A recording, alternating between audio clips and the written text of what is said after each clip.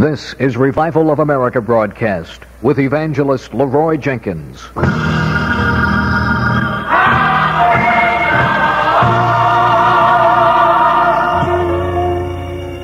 In 1960, LeRoy Jenkins was a businessman in Atlanta, Georgia. At that time, a near fatal accident occurred in his life. With the knowledge that death was inevitable, LeRoy Jenkins came face to face with a realization that only God could help him. Allowing God to take over in his life, this young man experienced the power of God through conversion and miraculous healing. Since that conversion and healing of evangelist LeRoy Jenkins, countless thousands have been converted and healed. Many times, as he stands before the people who gather in great arenas, coliseums, and tent cathedrals all across America, the supernatural gift of God enables him to look into the lives of those who stand before him. He sees their sickness, their problems, and their burdens. Many times he tells them things that happened years ago that only God could know.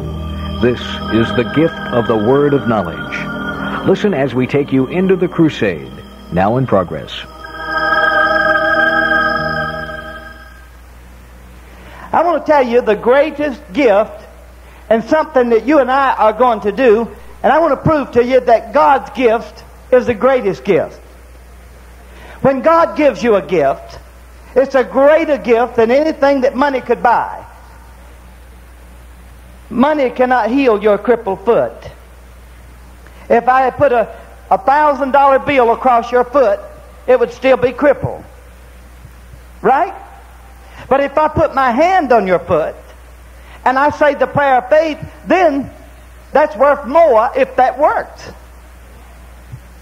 So the gift is greater than the money. The gift is greater than anything that could be wrong with this gentleman here. Right, sir? The prayer of faith, I'm, I like that when it says the prayer of faith. Not just the prayer, but the prayer of faith shall save the sick, and the Lord will raise them up again. Not just a, a prayer, but the prayer of faith. If you're here this morning and, and you have a sickness in your body, Surely you would go to a doctor.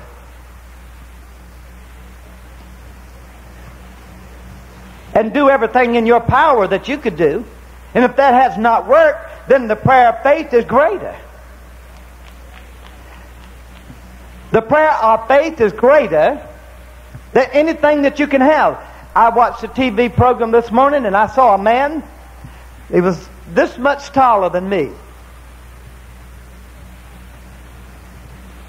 But his legs wouldn't work. For many years, this man had been like a vegetable. His legs had pierced away because he couldn't use them. And I don't know how I picked that man up. I was watching it this morning, and he weighed twice as much as I did. And I didn't pick him up like this. I picked him up under his arms. That's almost impossible. This man weighed like 300 pounds. And I thought, my goodness alive, I didn't do that. I could have never reached down under a man's arm and lifted him up.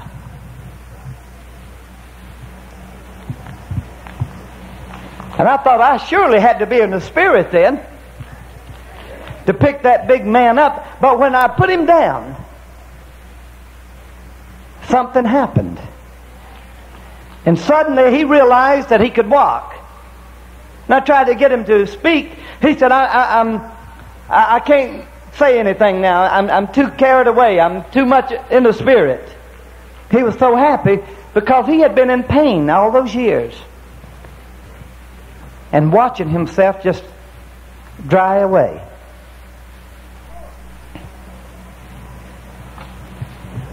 So, what was more important?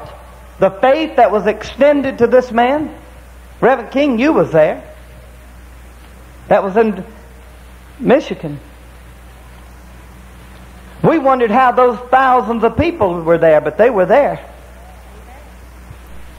We hardly could get there. But there again, people have enough faith that they can do anything. I watch people come to this cathedral when we could hardly get around the house to get in here, and they come from Detroit, Chicago. How'd you get here? We drove.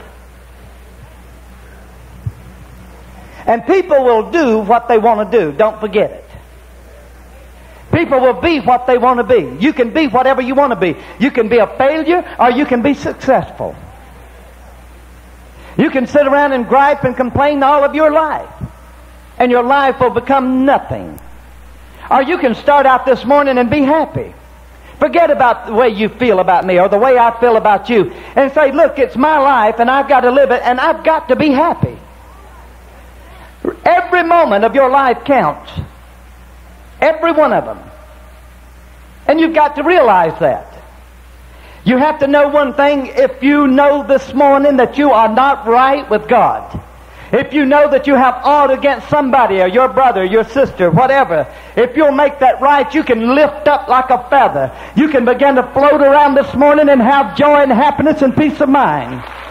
Nothing will matter to you. You'll want to live. You won't want to die. You won't be miserable. You'll feel joy in your mind. And no matter what the troubles and problems might be, you'll look over them and you'll smile. And you'll be glad that you said yes. Most people in the world make themselves miserable. They adopt misery. They ask for it. They want it because they do not know what joy and happiness is. There's some people that would be miserable no matter what you did to them. And there's people that are going to be happy no matter what you do. There's some people that just realize what joy and happiness is. The other day I put myself in Oral Roberts' place when his daughter was killed. And I thought that is terrible. And it just bothered me so much, not because of Rebecca, but because of the grief that was left behind with her mother and father. And I thought here's a man teaching faith, happiness, and joy. But look what he's been confronted with. And I realized that I have children. That could have happened to me. It can happen to you. But here's a man of faith, a man that believes in God. But he had to go through this problem. So that was a lesson to you to know that if Brother Roberts have to do it, so will you. Don't give up God. Supposing he said, I quit because my daughter and my son-in-law was taken and these children were left behind. What kind of God is that? But no, this man didn't say that. He had to be strong. He's an example. He had to let people realize that tragedies happen even to people like he and I. And they will happen to you. And the reason it was publicized, so many millions of people knew it because they knew Oral Roberts. There's people dying every second. You don't know about it, they're dying. They don't have a name, nobody knows actually who they are because it's just a person that died. But they're dying every second. That one could be you, it could be me. And the hatred you have in your heart against anyone, why should you have it? Because you could die tomorrow. So what you have in your heart against anyone is not worth it. Because you cannot go to heaven with hatred in your heart against anyone. You cannot have the joy of God in your life and your heart if you have aught against your brother. I have enough reason, and I have reason to have doubt and unbelief in my heart against people, but I don't. It seems to vanish and go. I have a reason to have hatred in my heart if I wanted to say I did because I've had a lot of things done against me. And it isn't easy for me to let it go. It isn't easy to really to forgive it and forget it. And it still comes back to your mind every now and then. You never feel the same, no matter what you say. And if I haven't done anything to you, what have I done to you if I have? If you're there judging me this morning, what did I do to you to make you do it? Have I done anything to you or somebody told you something? I haven't done it to you, then why bother with it? So therefore, hold no ought against your brother or your sister. If you have aught against anyone this morning, ask God forgiveness. Say, I ask you, God, to forgive me. And go to that one. Go to them and tell them. If you have aught, go to them. Say, I have aught against you. I have this against you. I want to find out about it. And you can become friends if both of you are Christians.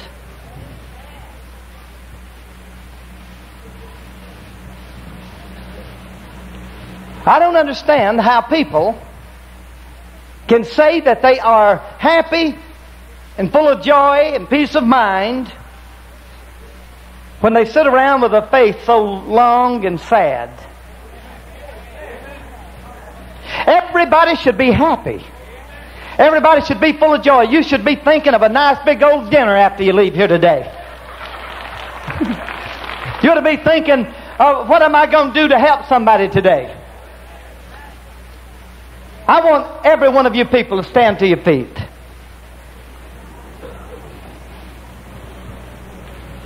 Come on. And I want you to clap your hands and sing Everybody Will Be Happy over there. Come on, group. I want to teach you this song if you don't know it.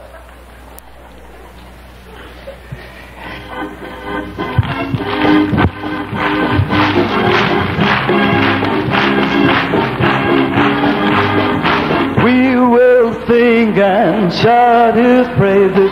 Everybody will be happy over there.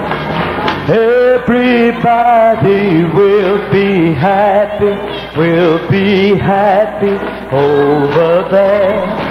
We will shout and sing His praise. Everybody will be happy over there. Everybody will be happy, will be happy. Over oh,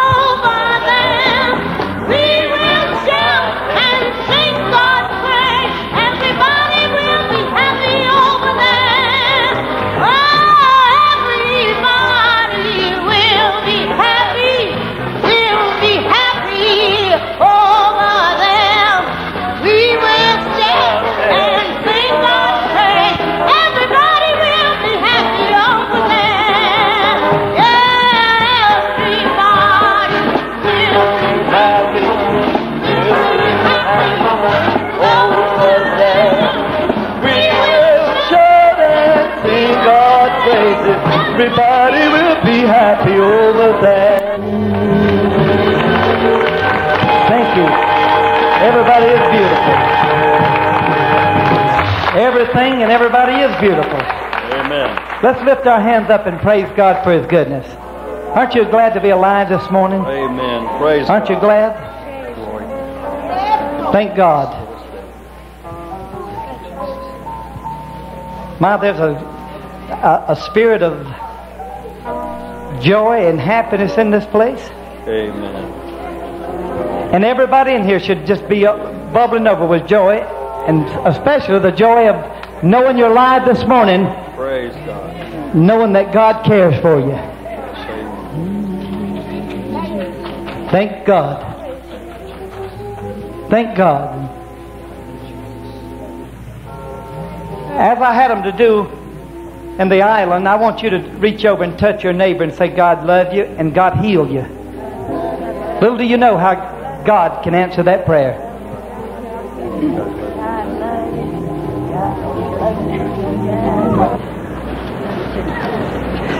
Uh, you know what? You, you might not believe this. You might not believe this.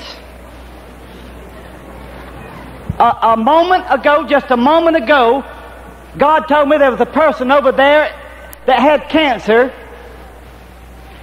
that he just healed. You've already been to the hospital and been operated on, but it came back.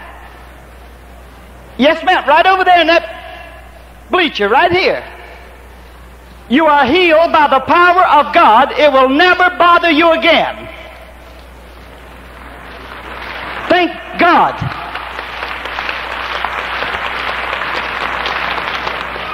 Sir, God just healed you of your diabetic condition. Healed by the power of God.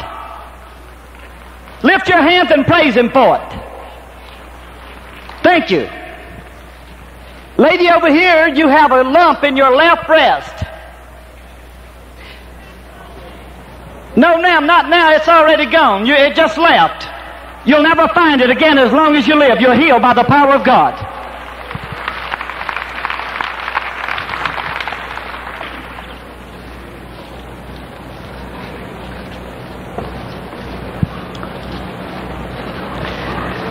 Let these people come on through. Father, touch this lady. In the name of Jesus. What are you catching my hand for? You're not going to fall? No, I'm not. Let it be granted in Jesus' name. Stand here, Usher. These are the ones I want right here, the big ones.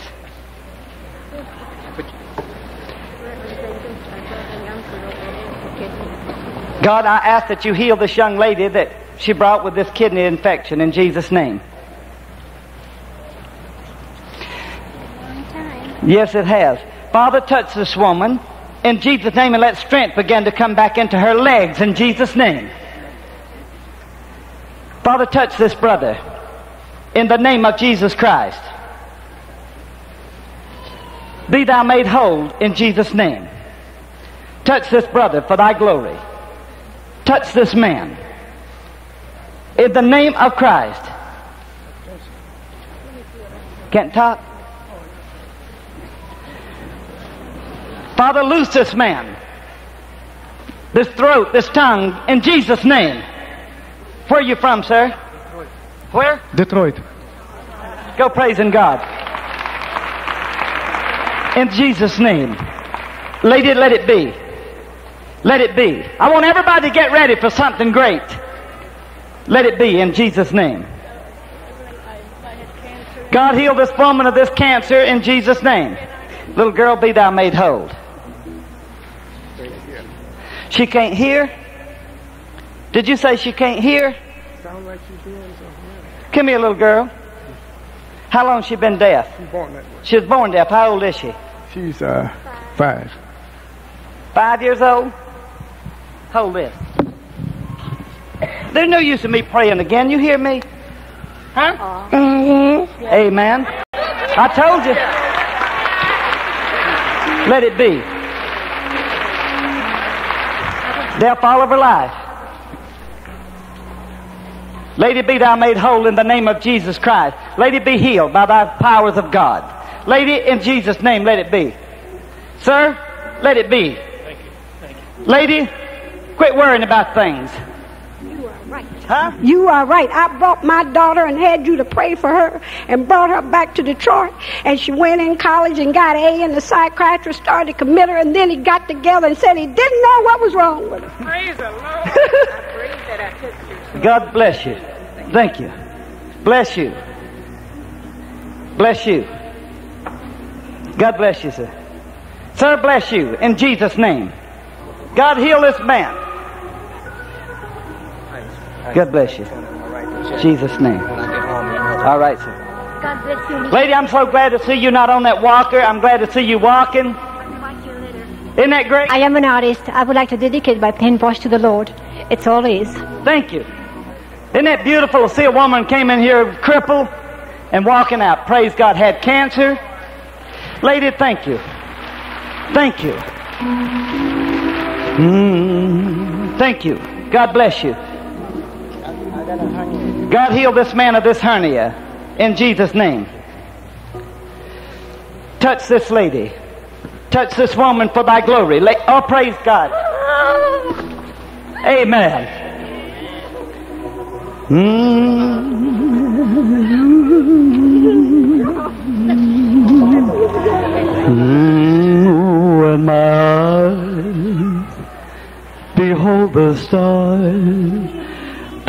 heart of mine is made to wonder.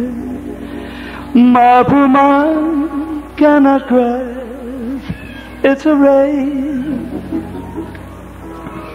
But the hand has built them there, all across the wide heaven, had a plan when he made them that way.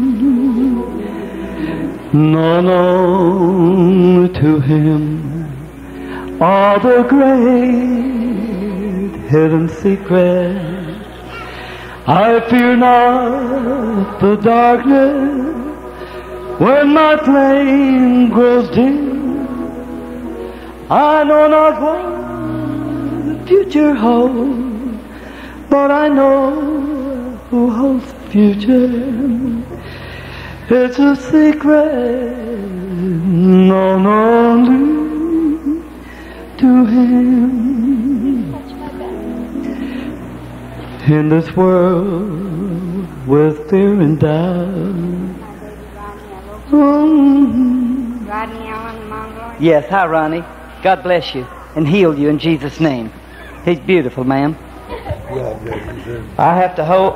I pray for you all the time you're in my way. And I pray every night, three times a day.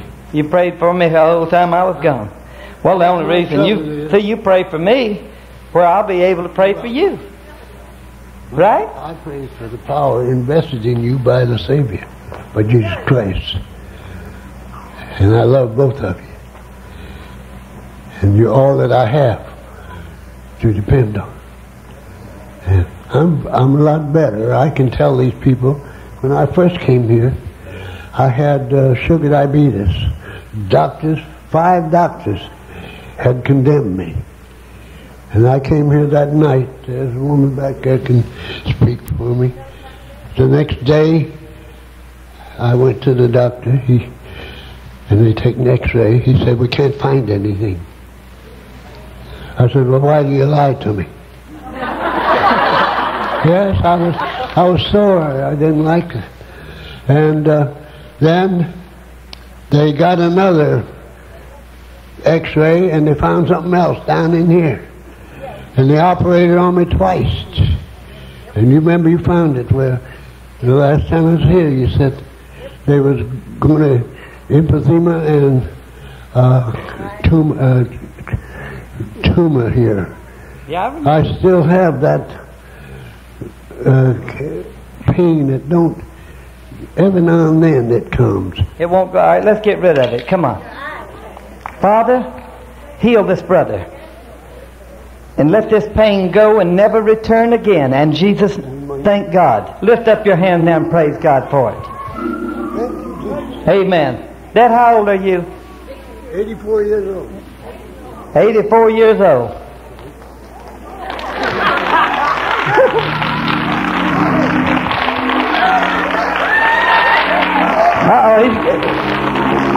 Went one way and he went the other. Thank you, Lord.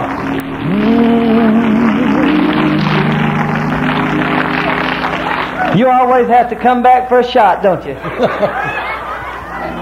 Well, I know where to come. That's one thing. I don't miss anything. Thank God. God bless you, son. And God bless you too.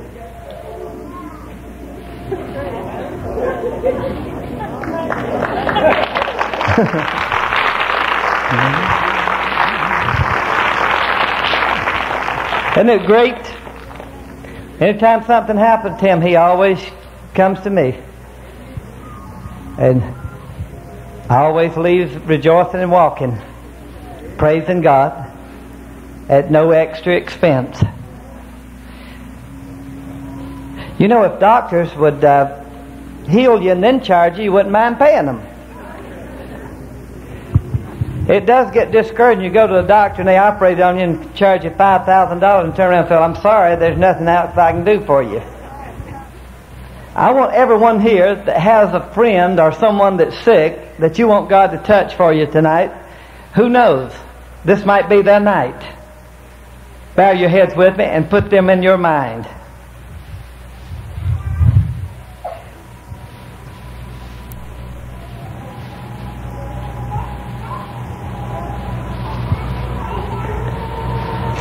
And we pray for it right now to happen. And we thank God for it. And we already we, we prayed for it, we thank Him, we believe it, and now it's done. Subject of things hoped for. The evidence of things not seen.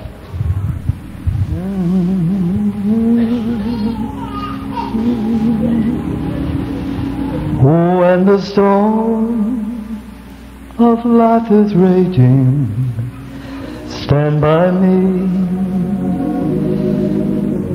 When the storm of life is raging, stand by me.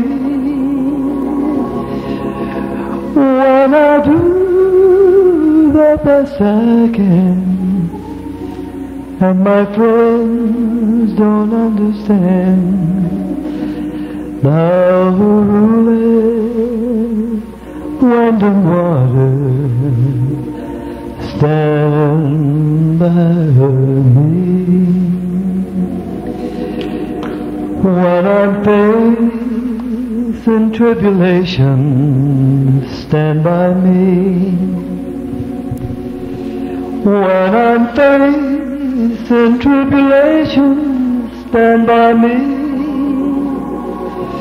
When the host of hail ascends and my head begins to fail, thou know all about it.